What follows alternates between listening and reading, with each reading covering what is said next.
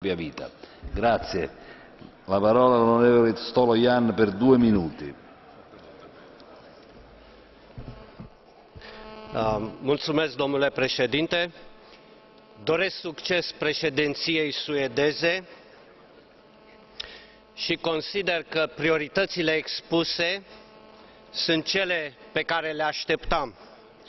Următoarele șase luni sunt decisive pentru cetățenii europeni ca și pentru Uniunea Europeană, sunt decisive dacă țările noastre vor ieși din criză în anul viitor sau, dimpotrivă, anul viitor va fi în continuare un semn mare de întrebare.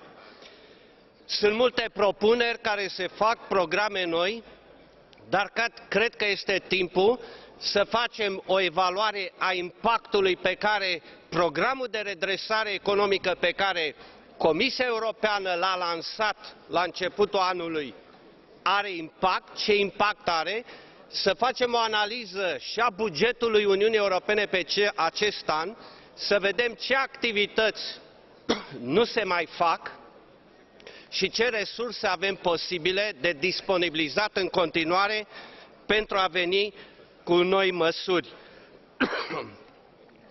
De asemenea, avem proiecte de investiții pentru sectorul de energie aprobate deja din acea sumă de circa 3 miliarde de euro și va trebui să facem pași concreți în realizarea acestor proiecte.